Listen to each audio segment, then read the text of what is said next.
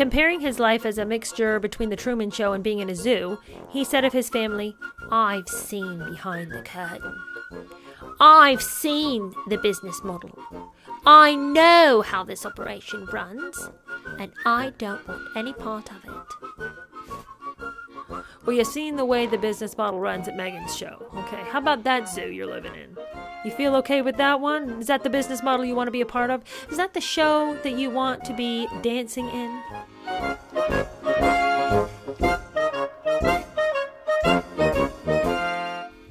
Hey, how are you? Welcome to another episode of Revenge Review. And we are almost done with this book. This is our third to last episode. So we've got today, then we'll have two more episodes after this, and then we're done. Um, now, our last episode was on the Oprah interview. And if you're like me, I figured the book probably peaked there. I was like, it couldn't get crazier than that. And I was like, okay, we're going to have to slog through these last chapters. I had not figured on this chapter, friends. I had not figured. Um, this is a weird chapter because it's called backlash, but really what it is is Harry and Meghan's response to the backlash, you know. So it's not like the whole world, you know, we're not talking about what the whole world thought because we kind of already did that in the end of the last chapter. This is really more like Meghan and Harry really digging into their decision to be destructive people and then continuing to live the lies that they are these put upon victims. So I continue to be shocked. I continue to be annoyed that I'm still shocked. I keep being amazed at how willing everybody is to play into their delusion. How many people are willing to be like, yeah, you know what, you're right, when every conceivable indication would say they're wrong. Uh, it, it was collective madness. And I'm so happy that we're coming around to a point where it just feels like we are, as a society, sort of groping our way back to the light. I mean, we're stumbling, it's a slog, we're falling down a lot, but we see a glimmer of hope, and enough of us are trying to make our way over there, back to truth, back to what is good. And Harry and Meghan don't fit the bill anymore. But I really am glad that we're going through this book right now because I think it's very easy to think, oh, the world's such a dark and terrible place, nothing's ever getting better. Friends, it's getting better. Harry and Meghan are losing all the ground that they had gained at this point uh, when we had just collectively lost our mind. And the fact that we can all look back, and it wasn't that long ago that they had so much power. It hasn't taken us that long to flip and to go, hey, you know what? We don't like those people. They are liars. They are not truth tellers. And collectively, as a society, more and more people are getting comfortable calling out what is not true. Now, like I said, we've got a long way to go. We have a lot of people who still want to live lies and still want to talk about, you know, if it's just your truth, if that's how you feel, I support how you feel, even if it's totally and colossally not so. But I do think that there is a contingency of people and a greater and greater contingency of people who are unwilling to propagate and perpetuate and uphold other people's false versions of reality as the gospel truth. We're just not as willing to do that anymore. And that's great. And that's good. And we need to pursue those things that continue to say, this is the light, this is the darkness. We need to go to the light. So, Tom Bower begins this chapter by saying that Meghan, who spent so much time with her current husband and her ex husband, telling them about her tragic childhood in which she was completely and totally alone and had no siblings. You know, yes, those half siblings of hers, but, you know, they don't count because they didn't care about her and she was so alone all her life. The, this was the tale she told. And yet, she is now raising a son and is soon to have a daughter where they will also be alone. It'll, it's just Meghan, Harry, and the two of them, and Doria whenever she decides to drop by, which seems to be quite a lot. But Meghan has effectively made for her children the same childhood that she lamented having, though didn't actually have. So it's weird. It's a weird thing that she would know it was a bad childhood to have had because she knows she can get a lot of pity for that, for having had a childhood like that. So that's the tale she tells. But now, now in reality, she's creating for her children the very existence that she was so grieved to have experienced. Why would she not want to do better for her kids? Why wouldn't she be so excited to have better for her kids? If she had at any point had begun to believe the lie that she was really alone during her childhood and that her parents didn't care about her and her half siblings could have cared less, why would she not then work extra hard to make sure her children had a happy childhood? We'll never understand Meghan. We aren't like her. But Bower is confused right along with us as to why she would want to give her children a similar fate to the one she claims to have had. You know, and, and he admits, you know, the Windsors were a troubled family, but no one had expected Harry to sabotage all the relationships. Were they so troubled that you just had to throw the baby out with the bathwater? In London, the public reper- repercussions uh, for that interview continued for days. We're very much not a racist family, declared William, as he was doorstepped by journalists entering an East London school to promote a mental health project. Despite his anger about Meghan's denunciation of Kate, William telephoned Harry. See, this is a person who knows how to deal like a man, okay? Are we going to make these public jabs at each other uh, and and talk about all of our problems and put hang our dirty laundry out in the streets for everybody to come gawk at and speculate on and come, you know, feel and look at? Or are you and I going to have a conversation together and try to fix things? William was of the mind, let's have a private conversation to try to fix things. However, this went off the rail, I'm willing to try to help us get back on. Heal and mend, he agreed with Charles, was their only option before the estrangement became irreversible. Hours after the call, Gayle King appeared on CBS TV. Shockingly, she decided to reveal a private conversation that she'd had with Harry. Why she felt that that was appropriate. I have no idea, except for the fact that she was given explicit instructions from Meghan and Harry to air this private conversation. We all know how they feel about people coming out and saying things that they didn't say they could say. So anytime somebody comes and speaks on their behalf, you know they got express instruction to do so. Gayle King comes out and decides to let everybody know about her private conversation. Um, she ridiculed the peacemakers. How foolish of William to come and say anything to Harry. How dare he at this late date? The conversation, she disclosed, was not productive. Well, it could have been if it was two grown ups talking, but it was a grown up and a madman. Speaking as briefed by the Sussexes, Gayle King criticized William's attitude. The family has to acknowledge that there are issues, and right now, nobody is acknowledging that. King went on to describe that what Meghan really hated was that the palace wanted to settle their dispute privately, yet they had not stopped false stories appearing in the media. So, according to Meghan, it's so hurtful that they would even say they wanted to settle things privately when they obviously don't, because they're not stopping the media from saying all the mean things about us. Bad story after bad story keeps coming out, such negative press. And the the royal family could stop that if they wanted to, but they just won't stop it. This is the same lie that Meghan continued to live under when she was part of the royal family. She continued to believe that the royal family could stop things for her if they if only they would decide to get up off their fat asses and do it. But they don't control the media. So there's nothing they can do about these stories. And yet, Meghan, you and Harry don't seem to have any problem with the false stories that appeared on the Oprah interview. If anybody around here is peddling a false narrative, it certainly isn't the royal family. You know there were 17 different inaccuracies that you stated in that Oprah interview that we know of. We don't even know the, the, the stuff that was cut out of the interview. But on air, you said 17 things that were so blatantly false that they could be called out immediately upon the end of the broadcast. It wasn't like people had to do some digging, like, oh, let me check on that. The palace warned Harry that there would be no more conversations or even contact if there were further leaks to the media. That, the royal advisers believed, would intimidate Harry. They were mistaken. Certain that the Oprah interview was a huge success in America, the Sussexes were set to establish themselves, not as beleaguered royals in exile, but as A list celebrities and social activists in California. They had arrived. They believed that that interview was the key to all their successes, and that with that interview, they had really settled themselves into a life of paradise, and they'd never really have to work hard at it again. All their hard work was behind them. And I think for a time they were right. But people were not willing to let what they said stand for very long. The tide was behind them at that point, but they're going to find themselves drowning in a you know a few years time from now. And, and and that's the time we're living in right now. On the eve of her 40th birthday Meghan welcomed the watershed hailed by millions as an uncompromisingly authentic superstar. She had defied the odds. Standing in the global spotlight she had humbled the royal family.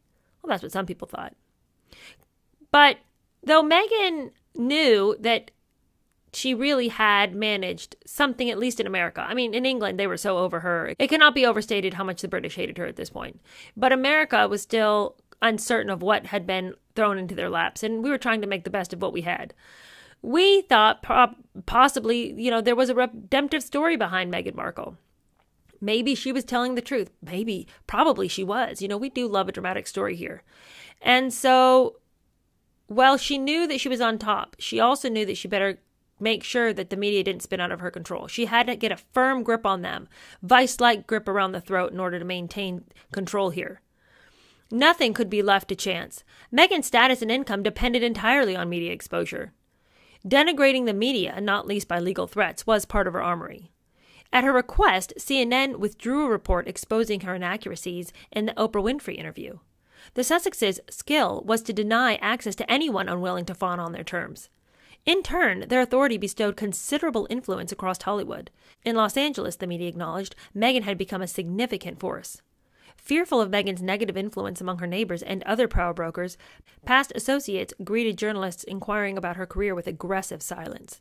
Their abrupt refusal to comment was a measure of Meghan's new authority, and she had quite a bit of it.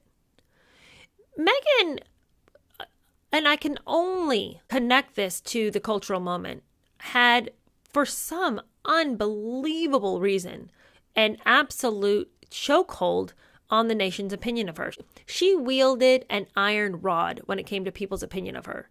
Somehow, even though she was coming out as so abrasive and so unlikable, people were afraid to say, you know, she's kind of abrasive and unlikable. She's kind of a weird liar. Some of the things she said in that interview were not normal or even realistic. You know, but nobody felt that they could even say that. Everyone had to be like, well, you know, that was her truth. So even though she's over here shutting down CNN, you know, making it so that people are afraid to speak the truth about her, you know, only her truth counts, not theirs. Even though Piers Morgan's over here losing his job because he said anything negative about her, uh, it defies understanding why people continued to champion her, except for the fact that, you know, the phenomenon when you're in like elementary school, and it kind of goes on into high school too, but I remember this first starting in like I was like probably in third grade when this started. And there was a girl in my class who was so bossy and so unlikable and so pushy. And yet we were all scrambling to gain some kind of standing with her. You know, we wanted her to like us. And I remember my mom saying, Why do you care so much about her opinion? Why do you court her? Uh, to gain her uh, opinion and and I mean why do you want to hang out with her? You don't like her, she's mean to you. And at the time I was like, I know, but somehow it would mean something if she liked me. I'm like, is that is that the thing that's in play here? That people know they don't like her and yet they won't say a word against her. What would have happened if they did? Well, I guess Piers Morgan could tell us you'll lose your job. But why were people willing to fire Piers Morgan or or anybody else who felt that it was dangerous to criticize Meghan.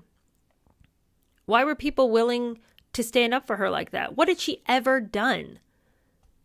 And the only thing I can think is that it it just came down to virtue signaling. You know, you can't be mean to anybody because then they'll think that you're othering them and then it's going to be this whole thing. Why did we collectively lose our minds like this? I'm going to tell you what, that was a weird, weird time. Introduced on their insistence as the Duke and Duchess, the Montecito Windsors had created their own celebrity image, crafted in skillfully orchestrated photo opportunities as multiracial, multicultural humanitarians. Rather than service and sacrifice, their brand of royalty was shaped by lucrative political careers. The only uncertainty was Meghan's destination. Her ultimate ambition was shrouded in mystery. Yeah, nobody could figure out what she was going to do. And nobody still knows what she's going to do because that podcast surely was not where her money would lie. I mean, those were a dud if ever there was a dud. So that couldn't have been it. She doesn't want to act anymore. People say she has political ambitions, but I nobody's going to take her at this point. If her chance to run for office had ever been, she let it slip her by. No one's ever voting for Meghan Markle in anything.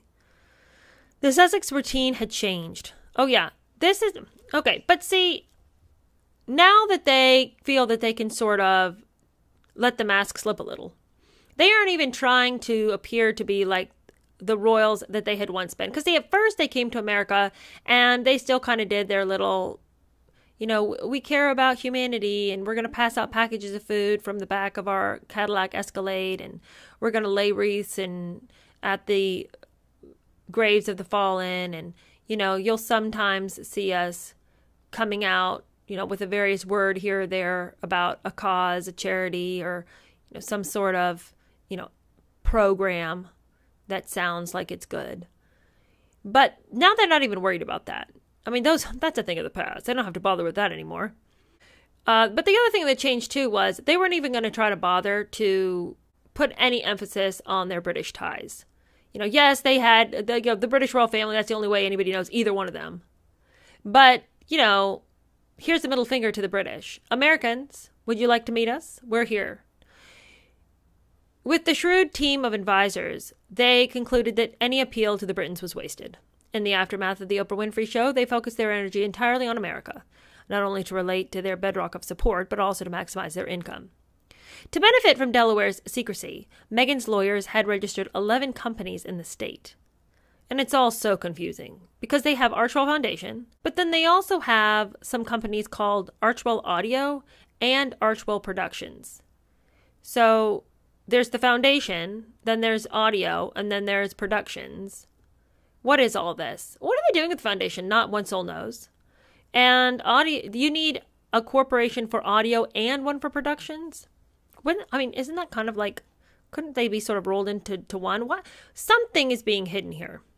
Outsiders would be unable to discover where the couple had deposited any of their income from Netflix and Spotify, or whether their income had been used for charitable purposes. Right? So they've got all of these companies, 11 companies registered in the state of Delaware between them and Doria. But where's all this money? Where has it gone? It certainly hasn't gone to initiatives, charities, work, because nothing's being produced. And where did all the money go from Harry's book? I mean, because that's a lot of money. He is currently right now on the number th- number three on the Amazon best-selling book list as of today. So he's still up there, still selling his little book, still telling his tale of woe. Where's that money? There was no evidence that Netflix and Spotify were earning any revenues from their relationship with the Sussexes. On the contrary, executives in both corporations were reportedly frustrated by the lack of products and profits. And of course, we know how they feel about it now. They called them effing grifters, is what they called them. The only revenue agreed by the Sussexes was a partnership with the Center for Humane Technology. Together with Archewell, they would research the development of safer, more compassionate online communities. This was the line. And of course, that fits their bucket list of things that they want to get done in the world. But it's not a source of money for their lifestyle. You know, it certainly was not something that was going to support them in the lavish way that they've become accustomed to. So, but that was the only thing anybody could find that they were really a part of, and that there was any, that, you know, that anything was being done on any front. Now, we come to the bit that just slayed me. I mean, just, I was laughing so hard at this because it's just ridiculous. All right, so Harry is over there juggling his little juggling balls outside the window while Meghan does her podcasts or whatever. He clearly has nothing to do. So they've got to find him some gainful employment. So, as is their wont, they put a ton of people on the job to find Harry some work, right? He can't find his own job. Um, so they have a whole team who cast this dragnet among Silicon Valley billionaires and headhunters to find suitable employment for Harry. And their first catch was BetterUp. This is the announcement that the corporation puts out after hiring Harry.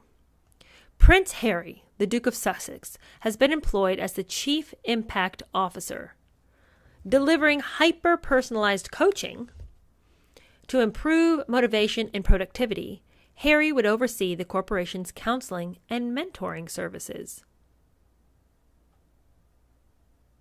You guys, Harry is going to oversee the corporation's counseling and mentoring services? The same guy who couldn't even tell his family that his wife was having a mental health crisis and needed to see a counselor like immediately? The same person who fumbled around in the darkness, not sure how to tell his family that his wife was thinking about ending it all because she was so emotionally distraught?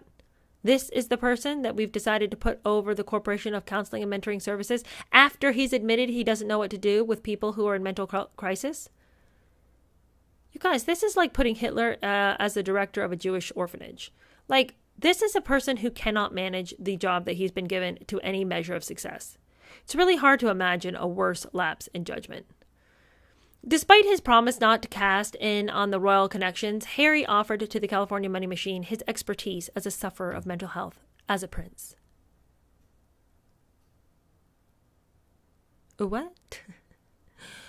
okay, so Harry's promised that he's not going to cash in on that royal title. You know, that's beneath him. He doesn't need that. You know, he doesn't need those people. It's not appropriate for me to cash in on that royal title, and I wouldn't want to anyway. But I can tell you I've suffered grievously as a prince. He wanted everybody to know that it was as a prince that he had suffered burnout. And so he would join a program to urge sufferers to seek mental wellness by meditation with the help of a BetterUp coach.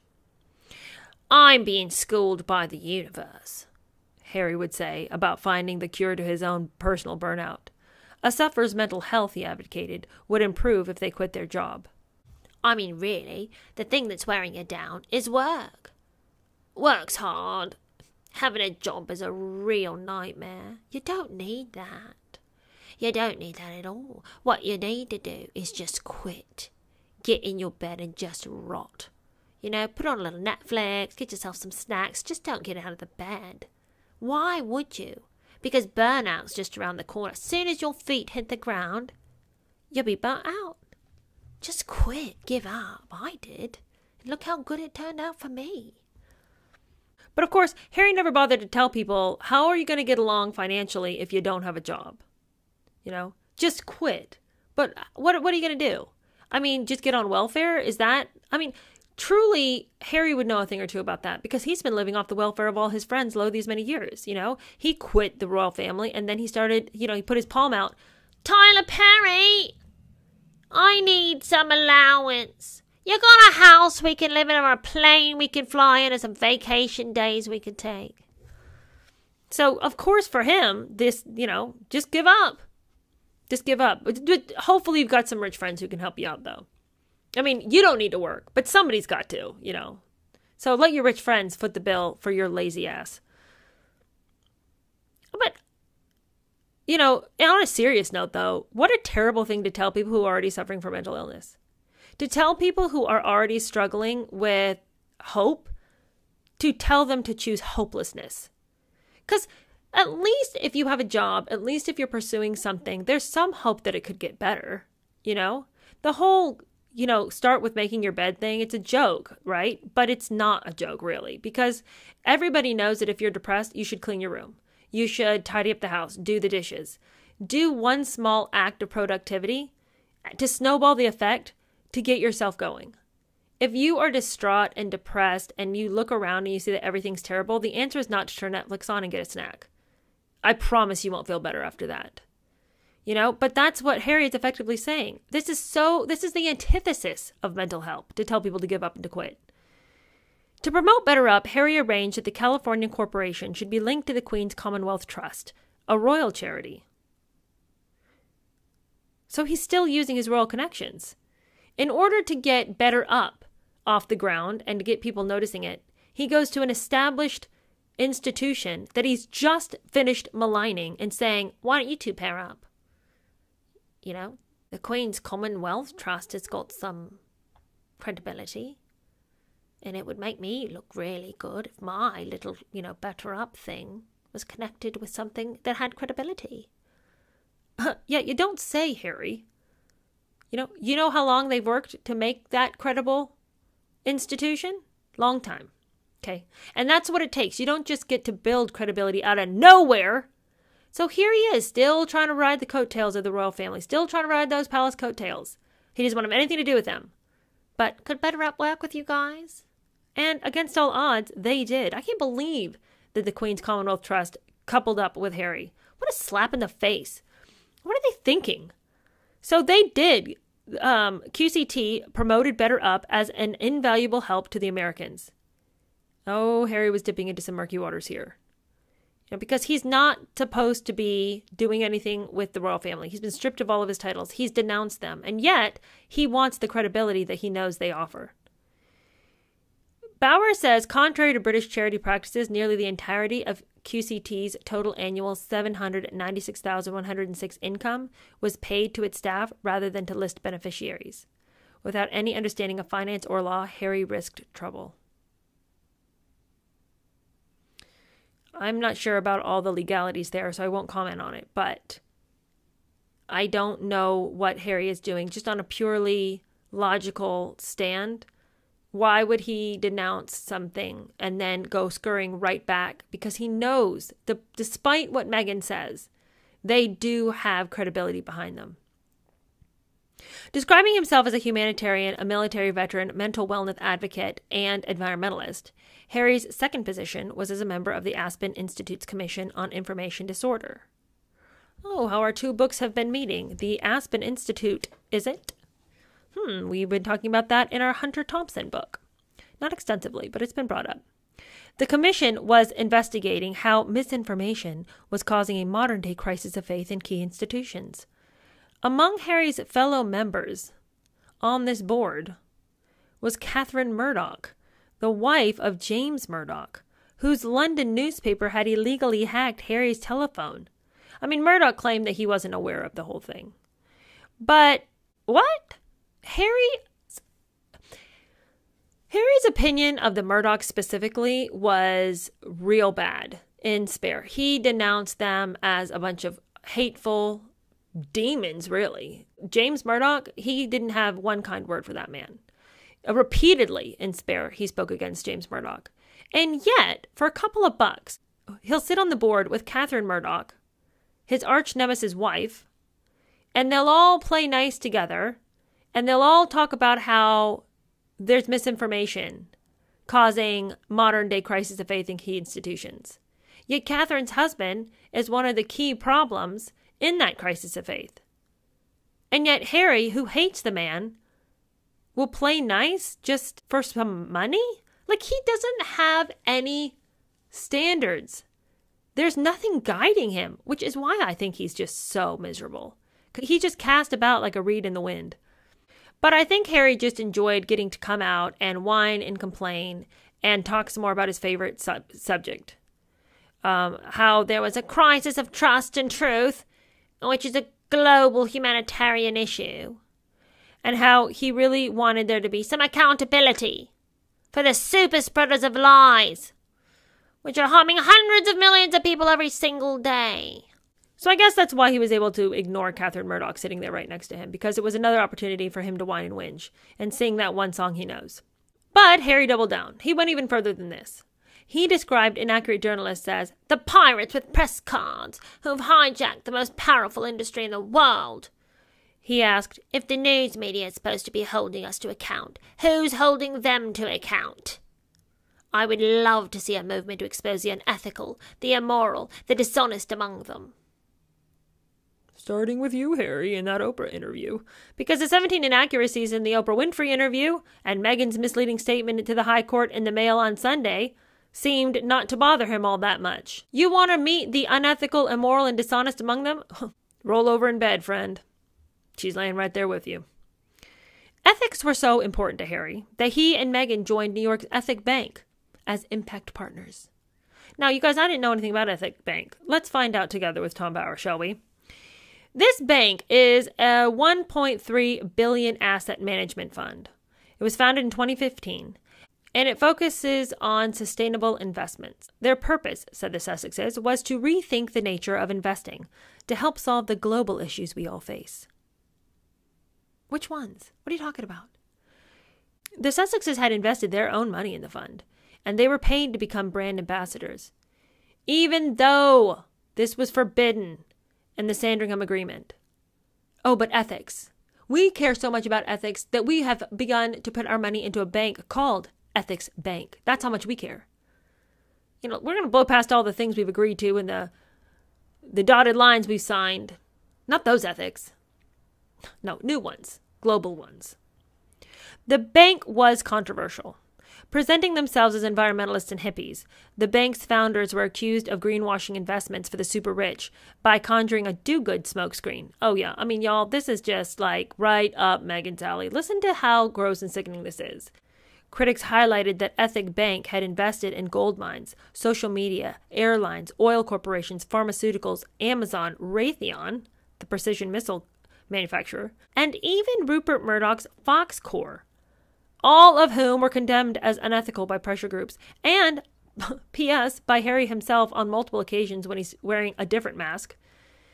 So, what we can surmise by this is that Harry and Meghan are just a couple of effing hypocrites because they don't care one whit about what comes out of their mouth. Whatever you need to believe, okay? Just don't question us too far and don't look into what Ethic Bank really is all about. Harry is a colossal hypocrite if he is nothing else. It doesn't really surprise me he would invest with a bank called Ethic Bank, which you guys, it's a little on the nose to call your bank Ethic Bank. I mean, that's so lame. It's trying so hard to get people to buy buy the image. So it doesn't really surprise me that he would go with something so lame because that's kind of on brand for him. To be hypocritical and lame, 100% on brand. But I think that people really started to get angry with him when, especially Americans, eh, when he came out and tried to weigh in on the First Amendment. You know, it's one thing to be a hypocrite, but then to come out and be an idiot, people are almost more offended by that. So he came out and he said that the Americans' First Amendment was bonkers. People shouldn't be allowed to just come out and say whatever they want. There should be some sort of legislation that forces people to say only the right things. Nothing in the world has ever gone wrong when you actually have somebody in a position of almighty power making sure that no one's saying what they're not supposed to say. That's the exact way a country should be led. Nothing bad can come of it. And it's all about loving people. It's loving people enough to tell them they can't speak. It's another form of justice. It's another. So, if anybody had still been, you know, wading in the murky waters of love for Harry, some people began to crawl out of those waters and, like, ooh, shark infested because Harry is coming out revealing all of his ignorance and saying things that just show that he doesn't know of whence he speaks. He wants to talk and he wants to sound like a grown up. So he wants to start talking about the Constitution and the amendments and things like that, things that grown ups talk about. But he doesn't even know what he's saying. He can't ever see the end of anything he does. That's his, that that is his tragic flaw. You want to know what Harry's tragic flaw is? His inability to conclude the end of the statement, to conclude the end of the action, to surmise what might be around that corner, to deduce what could be. Inferences are not for him. Might be why he was such a bad student. But this is why he struggled so in life. Whatever feels good today he'll think about the consequences tomorrow. And Meghan is very much like that too, although she is all the day long guessing about what comes next, steering her own ship. But she too struggles with accurately being able to surmise the obvious. And Harry deeply struggles with that. So he comes out with this lame ass statement about them. The First Amendment is tragically out of step with modern society. What we need is some new laws on the books that will teach people how to shut up and not say what they shouldn't say, and the government needs to get involved in that. Of course, this was Harry's way of discussing the uncensored media, and that's why he said it was bonkers. It wasn't because he's thinking about the political implications of shutting people up. It was, I don't want anyone saying anything mean or nasty. I don't want anybody saying anything mean about me or my wife.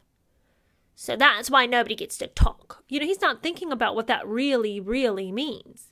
You know, and if you have somebody in power saying what you can or can't say, Today might be the person who agrees with all of your statements. What if you get somebody else in power? They want other statements to be said, right? Think about it, Harry. Oh, well, he thought about it all right. He thought about it enough to say that the First Amendment was vulgar. And he said that it was vulgar and it was crazy. And he babbled on about that for a while until enough people in his own inner circle whispered at his ear, well, that's what an idiot thinks. So you might not want to keep on with that. You know? Um, yeah, there are people who believe that the First Amendment should have had some kind of parameters around it. But you get in murky waters when you start talking like that. And most people can see, let's just let people say what they want to say. It just showed Harry's colossal ignorance and it just highlighted how little he knows about most things. He's willing to go up, feed him the line, and he will be the first one who's got his hand in the air ready to say it. He's such a little eager beaver, but the problem with him is that he's not really prepared to do much more than say the line. He can't defend the line, but he'll say it. You know, just tell me what you want me to say. I'll say it. I'll be the first one. There was a good reason for Harry to renew his criticism of the media. On April 16, 2021, David Engel, the solicitor, told the Mail on Sunday that although his client, Jason Knauf, would not voluntarily help the newspaper, he would provide a statement if Meghan's case came to trial. Knauf's latest approach was prompted by Judge Warby's refusal to allow a trial. Knauf was also taken aback by the Sussexes' inaccuracies in the Oprah Winfrey interview as well as Meghan's story that Thomas Markle was a liar who she, as a loving daughter, had tried to help. Warby, the Palace Four complained, had protected Meghan's duplicitous behavior, allowing her to traduce the reputations of good people and brilliant professionals, namely the Palace Four. If the four testified at Meghan's trial, the consequences for the Sussexes would be serious. With that in mind, Harry set off for London. Well, he was going to London because his grandfather had died. But he also knows that when he gets there, it's going to be to a very cold reception. Not just because of what he did with the Oprah Winfrey interview, but because a lot of people were really uncomfortable with what had happened with that judge completely protecting Meghan when there had been allegations that she had bullied people. So she isn't coming off from any angle as an honest person. And yet the judge still chose to protect her, even though he'd given the impression that he would fairly look at the case. And even though the case itself was a piece of junk, which he had said it was initially. So Harry can say all he wants about the First Amendment being bonkers and crying and complaining about the media, but so far judges have been protecting him. But there's only so much a judge can do. And then when the evidence starts coming out, and the Palace Four certainly has the evidence. I don't know what Harry and Meghan will do under those circumstances. But Harry was, again, not going because he needed to deal with any court situation. He was going back to London because Prince Philip had died. His funeral was set for the 17th of April. Neither the palace nor the media understood the Sussexes' mindset when Harry arrived in London just before the service. Y'all, what a train wreck of a life Harry is leading. What and what a horrible, horrible wreck of a life. And how much shame there would be in every scenario. When he's with Meghan, she shames him for where from where he came from. She acts like it's his family that has abused her so terribly, you know, so he's always having to feel like he's playing catch up for what his family has done to her. He has to constantly live in shame at being white in her circle of people being white is like the worst thing in the world. So he has to feel this shame about how he is inherently a colonizer and an oppressor. Then he's got to get on Oprah Winfrey's show and he's got to try to toe the line between what Meghan wants him to say and the fact that he does have a great deal of respect for his grandmother and knows she never did him any wrong. Yet he's got to go on there and talk ugly about his family. Now he's got the pressure of the court coming out and revealing all the things he's helped tried to help his wife to hide. Now his grandfather's dead and he's going to go and instead of just being able to focus on how sad he is that his grandfather has died and helping his family through their grief and you know going and being with people who loved his grandfather and finding safety there, he's alienated the very place he could have found safety. So there's no safety there. He's grieving that his father, his grandfather's died. I mean, I'm assuming he's grieving. I don't know. He didn't care very much for the old man when the man was alive, but assuming he has any human compunction towards grief, I would assume he's a little sad about it. Where can Harry go to find genuine comfort? Not into the arms of Meghan. There's too much unknown there. He has no friends. He has no family the the the media is maligning him. The court case the, the court cases have been won, but very unpredictable where that may lead. There's nothing that is safe. What a train wreck. I would hate to be Harry. The mood in London was somber. Daily, the media extolled Philip's remarkable life and devotion to the country. The Duke had planned a simple funeral at St. George's Chapel in Windsor. The rehearsals displayed faultless military drill, Few would not be touched by the perfection of British ceremonial tradition. The weather was forecast to be perfect. The only uncertainty was the relationship between Harry and his family. How would he cope with his father and brother? And Meghan had refused to come, citing her seven months pregnancy. But that hadn't stopped her when she wanted to fly to New York for that baby shower. So pregnancy has never gotten in Meghan's way. And it certainly is, should not have gotten in the way today. I've flown seven months pregnant. It's not a big thing. In Windsor Castle, the Queen was preparing to face the public on one of the saddest days of her life. Oh, what a tragedy this was. Not only has she lost her husband, but she lost him during COVID. So there wasn't even any visual display of closeness with her family because she had to go sit by herself in black. She's got a black mask on by herself while she watches the funeral. And not only are we looking visually at what we know to be so tragic, the funeral and the death of a spouse to somebody who has been married to him for 70 years. Her whole, like more than half her life, she spent with this man. Like a whole person's life, she has been married to him. And to lose him, obviously, so sad. But we knew what was going on in the background we knew what was the turmoil and the grief that was churning in her family at a time that was already so hard. And Harry did that to her. So here his poor grandmother is sitting by herself in grief, and there can be nobody around her because of stupid COVID ru- rules. And the pain in her heart isn't just the fact that her dear husband is dead, but Harry is destroying his family and seeming to enjoy doing it. In Windsor Castle, the Queen was preparing to face the public on one of the saddest days of her life. Philip had been her rock for the previous 70 years. To comply with COVID restrictions, she would grieve alone inside the chapel. Thank goodness Meghan is not coming, the monarch said in a clear voice to her trusted aides. There was no mistaking the Queen's dislike for the disruptive actress. Harry's presence remained a problem. As a private citizen stripped of his military titles, he could not dress in his uniform, which would have been appropriate to minimize the embarrassment for both Harry and Andrew, who also could not wear his military uniform, the whole family decided to come in morning suits instead. So every male was dressed in a morning suit instead of the military uniforms that they should have been wearing. So Harry and Andrew, once again, are disrupting everything for everybody else because they can't get their together. To avoid any problems with William, the brothers were separated as they walked towards St. George's Chapel by their cousin Peter Phillips. So you know it must have been pretty bad between them if they thought we don't even need to put them together because they won't even be able to hold it together with the pictures being taken, the filming going on. Something could go down. So we have to place a family member between them. That's ugly. During that short procession, many watched whether Harry signaled any regret towards his family. He did keep giving these sideways glances to William, and some people thought that that showed his unease. But nobody knew how nervous Harry really should have been. And he should have been shaking in his little boots. None realized that in four weeks' time, his Apple TV series about mental health would confirm not only his disloyalty, but his disregard for his family's privacy. Transmission had been delayed until after the funeral, but once again, Harry had shafted the Windsors. Oh, he should have been nervous. So not only has he torn up his family to shreds in front of the entire world with Meghan, now he's like, I didn't get enough of it. I don't I don't feel satiated. I want to keep going. Apple TV, let's make a deal. You pay me a couple of bucks, and I'll just denigrate my family to death.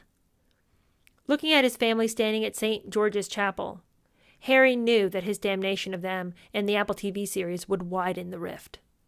Sitting alone and isolated, the 94 year old monarch's grief was concealed behind a black mask. Everyone was moved by her dignity. William looked tense, Kate serene, Charles visibly anguished. Only Harry's expression defied accurate reporting. Slapping his order of service against his thighs as he left the chapel, he was clearly impatient. None knew that Harry, the once adored young prince, had betrayed his whole family again. By the way, I think that that's an inaccurate representation that he was impatient to leave and that's why he was slapping his program against his thighs. I think he was trying to parrot nonchalance. I think he was trying to act like, you know, he didn't feel uncomfortable, and so he's just sort of acting in a casual way. Maybe he was nervous, and he should have been, and it could have been that. But I also think that he was just monkeying for the camera. After the service, eager for signs of reconciliation, the media seized on Kate's maneuver to engineer a conversation between the brothers. Cameras followed them as they walked up the hill towards the castle. Later reports of the aftermath veered between a two hour conversation between Harry, William, and Charles, and a perfunctory exchange before everyone departed. Few realized that Harry had no interest in reconciliation. He wanted to return to California as fast as possible. The three princes spoke briefly before Charles drove to his cottage in the Brecon Beacons in Wales. William was handing William was handed the burden of rescuing the monarchy from the damage caused by his brother and his uncle Andrew. Yeah, well, you know, we don't know here what their little conversation was in Frogmore Gardens uh, right after the funeral, but Harry wrote about it extensively in the preface of his book. And you can go back and watch that if you'd like to in that series that I did about Spare. It's the first video I did in that series, and I just remember being like, ooh, this is good. Because Harry says that he tried to get his family to understand how he hadn't betrayed them, they had betrayed him and he was only setting the record straight. And he really believes it. He tells a lie and then he tries to get them to come right along with him, and they wouldn't do it. And they kept being like, We don't understand this. We don't get this. Like, you keep saying these things, nothing that we've experienced together would substantiate that. That's what Meghan says happened. But what you and I, what we know, we know that's not what happened. And Harry left in a huff right as soon as he could and he refused to be with his family. He refused to be with anybody. And now, you know, having read all of Revenge, I can see why he didn't want to engage with everybody after the funeral. And I remember even in that video saying, you know, why was he not wanting to you know, why was he pulling his dad and his brother away from the family? Why can't he just go in and have, you know, a sandwich or whatever and like be with his cousins and stuff because they were all at the house? Why was he not doing that? And now I see, well, why would he? Everyone's enraged with him. The Oprah interview was just on, and he wouldn't have been a welcome guest in that house. And I just didn't understand the timeline. But I get it now. Uh, but I also see that Harry is all the time trying to pull people away and give them his little side of the story. He's always trying to twist people's understanding of what happened and he couldn't have told the he couldn't have gotten the whole room on his side. So he's got to get his brother he's got to get his dad he's got to get them off by themselves so that he can try to tell them his little sad story. But of course they didn't get it. So he leaves he's in a big fat huff. He's outraged. He he's like well once again no one understands me. No one tries to understand me. Everyone's the worst. And palace finally understood very precisely on 14th may that the sussexes were beyond control and beyond hope. Nobody is going to reconcile with these people now because and they certainly don't want to they have made their bed and they're enjoying lying in it. Apple TV released Harry's broadcast. It was called The Me You Can't See. Is there any of you that we don't see? We even got a special Todger edition once your book came out. If only there was a part of you we didn't see. Harry denounced William, whom he had previously praised as the only person he could trust. And later in a podcast called Armchair Expert, he dishonored Charles, whom he had previously thanked for being so kind, for causing a cycle of genetic pain. That doesn't even make sense. What a stupid term. Here Harry is again trying to use the words the grown-ups use. Genetic pain. What are you talking about? Are you talking about a pattern of generational abuse? That's not genetic. Okay? That is behavioral choices. And you are making a behavioral choice to cut people out of your life and give your children the same inheritance that Meghan claims she had. How about that genetic choice, if those are the terms you want to use? Uh, as is his wont, all were cast as villains responsible for his cycles of suffering and unresolved anger. I'm outrageously angry all the time. I mean, unbelievably addicted to rage. I love it. But it's not my fault. I can't be any other way. If other people had bothered to care about my feelings, to show me any compunction of kindness and sweetness, and, and had cared for my feelings when I was just a little boy walking behind my mother's coffin, I wouldn't be like this. They made me addicted to anger. It's not my fault that I love the feeling of the red mist as it comes over my eyes. It's their fault. Comparing his life as a mixture between the Truman Show and being in a zoo, he said of his family, I've seen behind the curtain. I've seen the business model. I know how this operation runs, and I don't want any part of it. Well, you've seen the way the business model runs at Meghan's show. Okay, how about that zoo you're living in? You feel okay with that one? Is that the business model you want to be a part of? Is that the show that you want to be dancing in? Instead of being reconciled with his family, he had monetized his anguish. That's the only way to go about life, according to Meghan. Money, money, money. The trigger for his anger was once again his family's total neglect of Meghan. while she was suicidal. She was going to end her life. It shouldn't have to get to that. That was one of the biggest reasons to leave, feeling trapped and feeling controlled through fear, both by the media and by the system itself, which never encouraged talking about this kind of trauma. I was ashamed to go to my family because I know that I'm not going to get from my family what I need. Again, that statement doesn't make sense. You're afraid to go to your family because they won't give you what you need. That's that that's not that's not a cause and effect statement here. Like you're afraid of them because they aren't giving you what you need. You're just saying things at this point. Those two things don't one would actually not mean the other. You're afraid to go to your family because they won't give you what you need. No, you would be angry with your family You'd say, I I can't go to my family and it makes me angry because I know they won't give me what I need. You know, it's not fear, it's anger here. But he doesn't even know his own emotions. He's just, he's confused. He's bamboozled. He doesn't know what to say. He's just saying a lot of statements. He's heard them all before. He'll just throw them all out. Doesn't matter if they don't tie together. Whatever. You know, what I think it ultimately comes down to is, and this is why this statement doesn't make sense because he's not being honest about why he didn't go to them. He knew it was a lie and they wouldn't believe him because they knew it was a lie. They'd seen her be dramatic before, they'd seen her be theatrical before, they'd seen her act out, they'd seen her make claims, they'd seen her do so many things that were not honest, so that if now she comes up with that, they they may have said, "Are you sure? Are you positive that that's what's going on?" Right? He didn't bring it up to them because he knew that she had never acted in a way that was trustworthy enough for them to believe her now. She'd cried wolf too many times, you know, to put it succinctly. Ramping up his earlier accusations aired in Oprah Winfrey interview, Harry described how he and Meghan felt bullied into silence. I thought my family would help, but every single ask, request, warning, whatever it is, just got me met with total silence, total neglect. We spent four years trying to make it work. We did everything we possibly could to stay there and carrying on doing the role and doing the job. Meghan was struggling. Even while they negotiated their departure, hunted and helpless, in London, there were forces working against us. Now, who, who rebuffed Harry's pleas? We don't know. He never identified them. No one's ever come forward. No one's ever said, yeah, there were some people who really hated Harry and Meghan.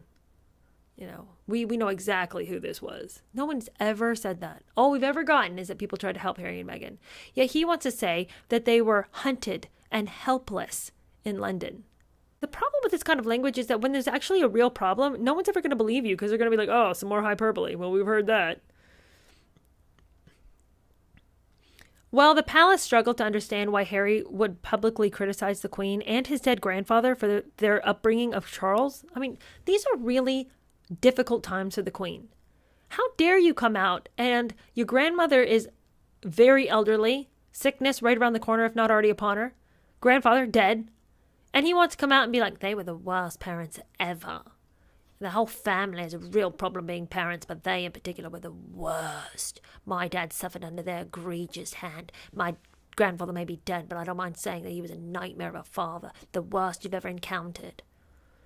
But while the palace wondered what was going on with Harry and why he could manage to say all these hateful things, Harry was super enjoying the fact that the whole world's attention was turned to him. Remember that social media that he hates so very much, the one that he thinks should be curbed and that the First Amendment should not apply to? Well, he's enjoying the reports that he's trending at number one on social media. Didn't mind social media then. Twitter's never been more welcome in his world. He was credited for removing the stigma of admitting to anxiety and depression. By contrast, palace officials decided that there was no way for them to reason with a man who, quote, shared his anger in order to help others have a, quote, positive impact. Yeah, you can't reason with somebody like that because that's not reasonable sharing your anger and then saying, I'm having a really positive impact, telling everybody how outrageously out of control I am. that person is clearly in the throes of one of his many mental fits. The gulf between the Windsors and Harry was widening. Five days earlier, Harry nailed his colors to political campaigning. At Vax Live, a Los Angeles charity concert, Harry told an audience that Pfizer and other pioneers of anti COVID vaccines should abandon their intellectual property rights and let poor countries have their patents free.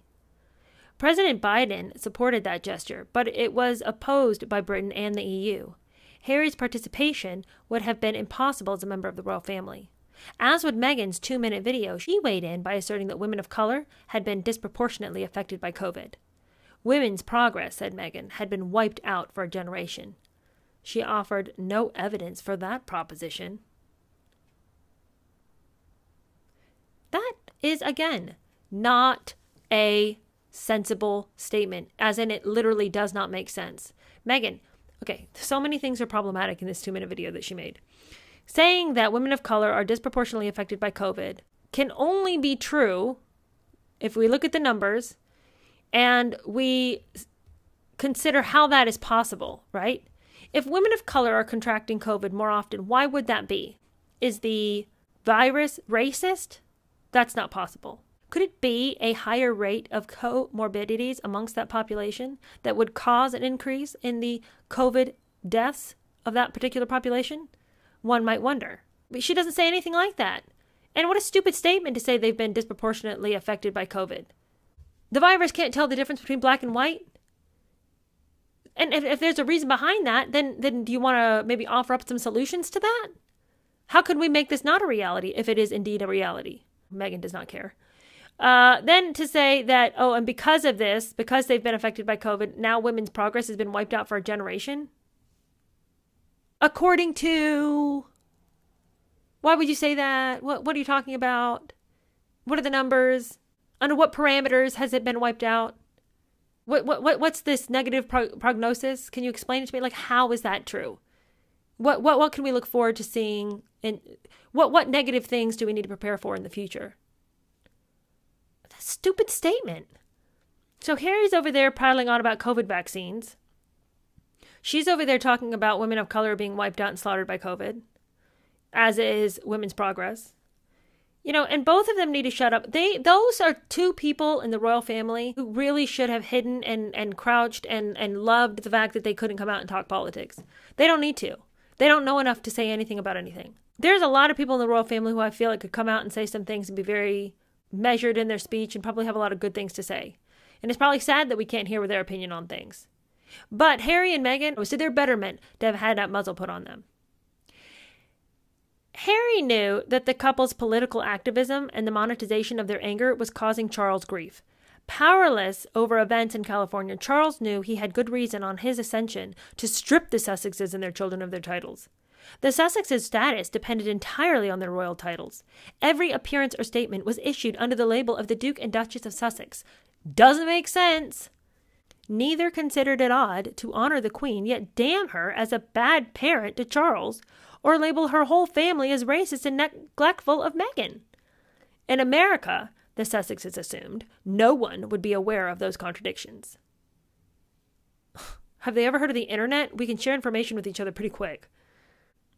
But Harry could not assume that Charles would tolerate the enmity without retribution. In the possibly brief time before the Queen died, Harry needed to cement his status. To remain in the public eye, the Sussexes organized a Lilibet website before their daughter was born. You guys, I have major issues with this. Not the website, the name. It's ghastly inappropriate and totally trashy that they would take the name Lilibet from the queen, who they despise, from a family tradition which they disdain, and take that name and mash it up with Diana, and now their little baby girl is going to be called Lilibet Diana. It's so pathetic. It's such a screaming cry for attention. It's so dishonoring to I mean it's like such an intimate detail about the queen that is nobody's business. Like what her little nickname was when she couldn't say her own name and she couldn't say Elizabeth, so she called herself Lilibet, and the family took that on and that became her family nickname within a closed circle. This wasn't like the whole world didn't call her Lilibet, you know? This is the Queen's childhood nickname. And they hate the Queen, or else they wouldn't go around behaving this way. They wouldn't go about trashing her, calling her a bad mother, trashing the institution she has faithfully been the head of for years and been has brought so much dignity and so much honor to the woman to the role of strong female. She has done so much for women by her quiet dignity and femininity and by the way she has strongly led a country and consistently seen the straight and narrow and walked it. She has been such a wonderful and strong and beautiful person. And it is the, it, it, it was a tragic day when she passed because we lost one of the last people who knew how to carry themselves in that way.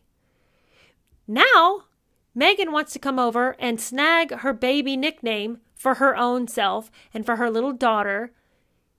I mean, as the queen, I would have been highly dishonored by that just think about it. Just think about it. Think about if you think about the nickname that you have, like that your dad or that your mom called you as a kid. Think about that intimate little nickname. Now think about somebody who has destroyed your family, wrecked the the decency in your home, wrecked what familial ties you had, destroyed your dear grandson's life, twisted his mind. Now you think about that person having a baby and taking your childhood nickname. You know, I'm not much one for pettiness. You know, I just I want to live and let live. You know, I, I really, really don't want to sweat the small stuff and I want to just move on when things aren't a big deal. You know, it's just like we got bigger fish to fry, right? But I would have problems with that. I would really dislike that. When I was a kid, so my middle name is Denise. The only person who ever called me this was my mom. Her nickname for me was Deniski. I don't know where that came from. She's the only person who ever called me that. That was my nickname. If my arch enemy decided to name their child Deniski, which who would do that? But say like they did, I would be mortified and so mad because that was my mom's nickname for me. She's the only one who called me that. It was her little name for me. And if somebody decided to use that, and somebody I hated who had destroyed my family, I mean, you couldn't have set my teeth on edge any harder. Anyway, Harry didn't care. Uh, his daughter was born at Santa Barbara's Cottage Hospital on the 4th of June. On the same day, for two days before the birth was announced, Meghan's lawyers registered the lilibetdiana.com website. After the birth, but before the public announcement, Harry called the Queen. He told his grandmother about the birth and their decision to call their daughter Lilibet look, in all truth, that is really kind of a cute little name, but it's just that they didn't have a right to it.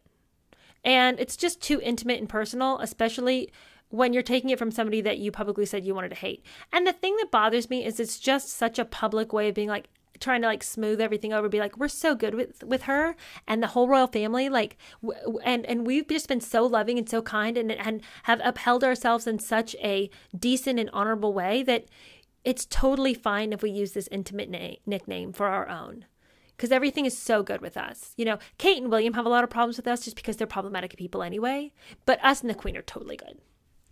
To stymie the Sussexes, the palace told the BBC that the Queen was never asked for permission for the use of her name.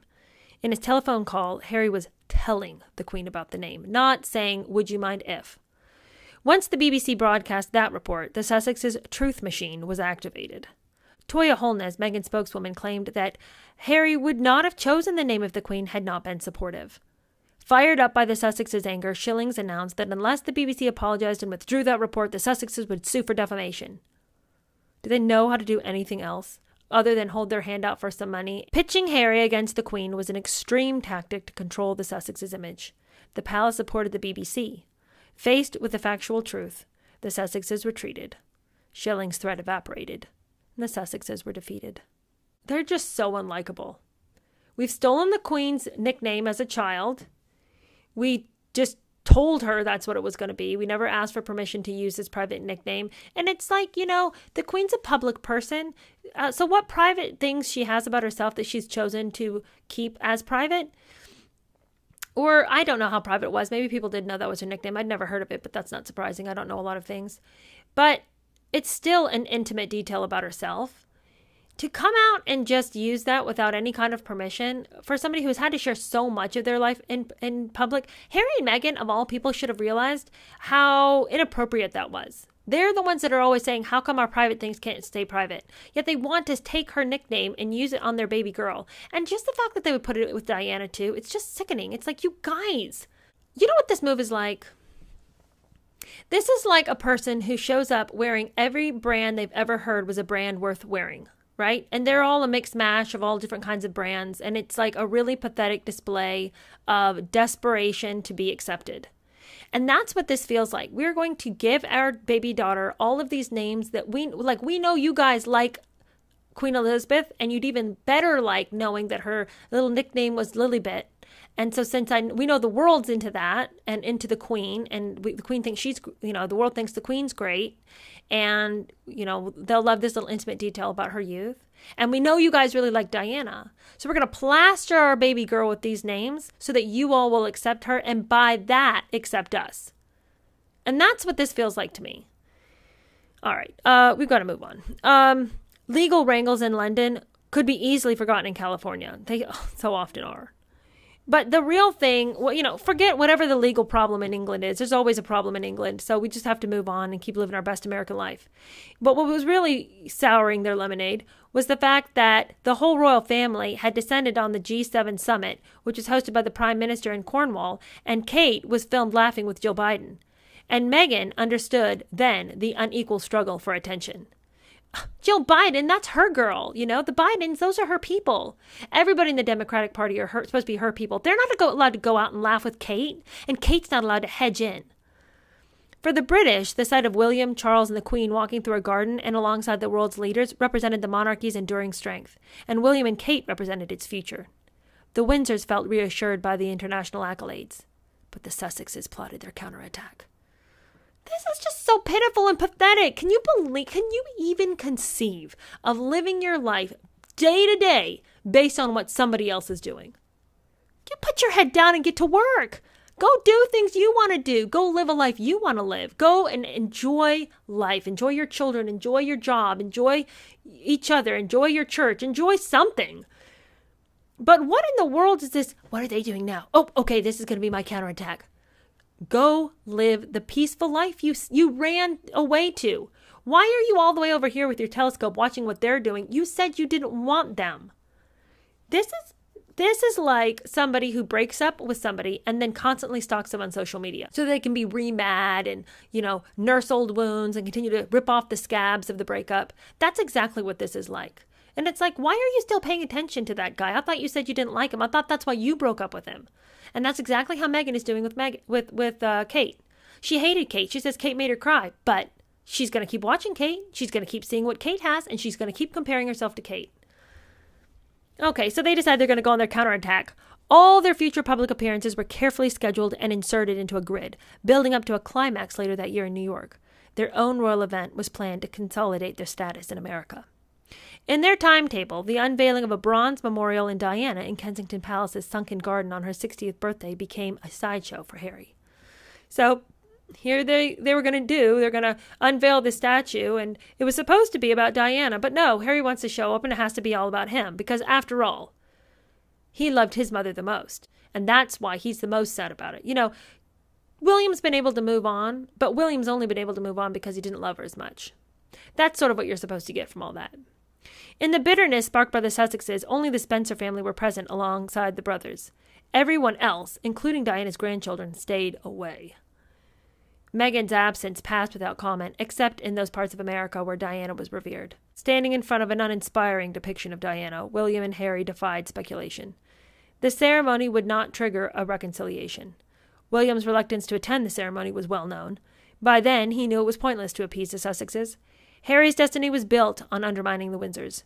Harry's reinvention required a clean break, retribution, and possible reconciliation on the Sussexes' terms. The only blip was the risk of the truth emerging. And oh God, don't I just wish it would? I just wish that we could get a full look at the dossier that included all the information about the bullying accusations, and I don't know why we don't have it yet.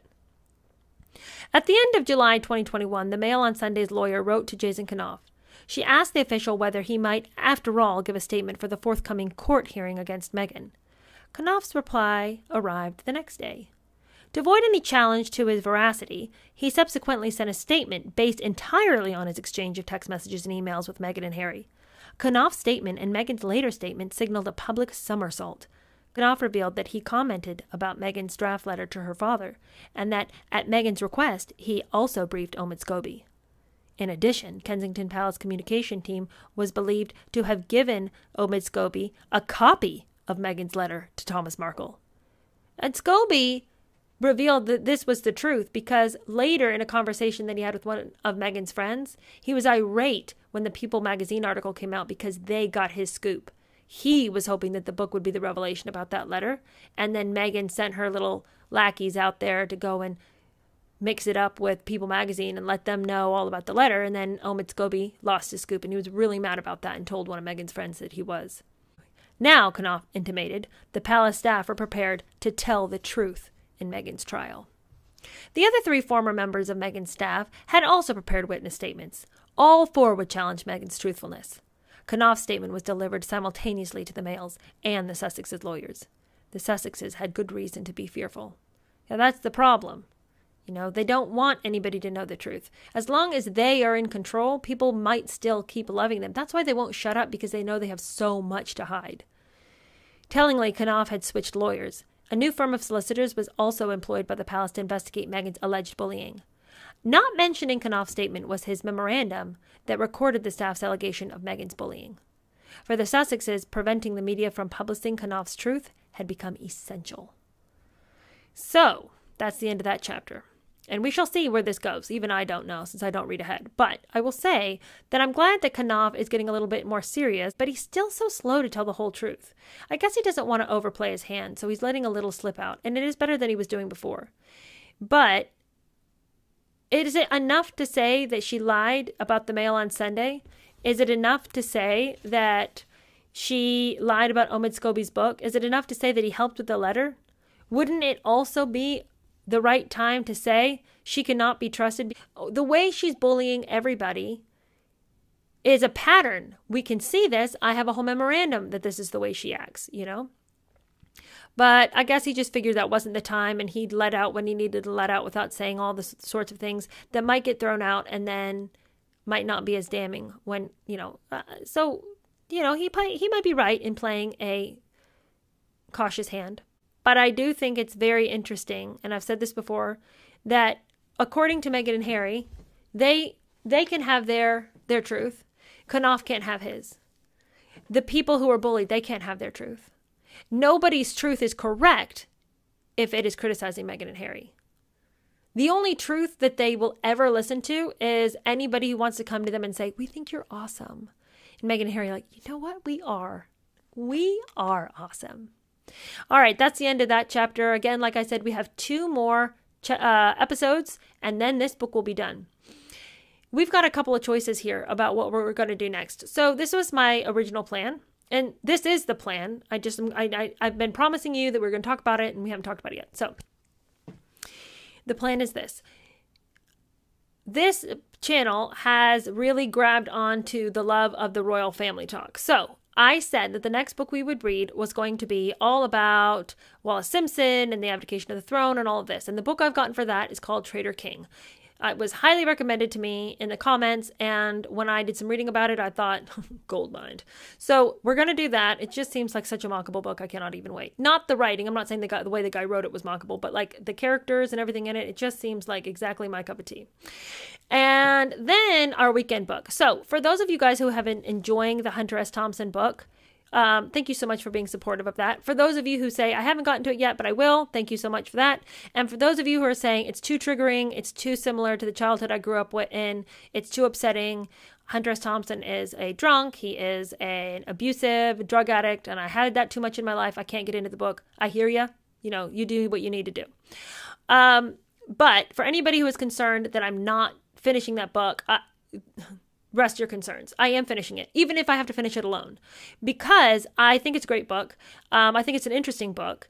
Um, I feel like I know the characters a lot better now, and I feel like it's getting more and more fun to talk about the characters in the book. The only reason we didn't have a chapter this past weekend was because of the major technological difficulties I was having. And you guys, when I tell you that it was a nightmare of a weekend, I cannot stress that enough. Me and YouTube are in a big fight. Um, not because YouTube doesn't like me, but because I'm just, uh, I was just struggling. There's so many things, you guys. I mean, clearly not a high dollar operation right around here, right? And I film and edit every single thing on my phone. Um, that ends this week. I've got to get a, a, laptop specifically for this. But my poor little workhorse phone was crying out to me, being like, I can't go on any longer.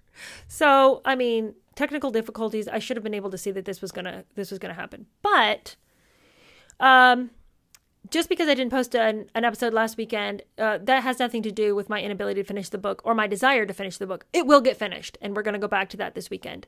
Um, but we don't have that much longer on that book. So, what are we going to do on the weekend? Uh, the Kennedys, obviously.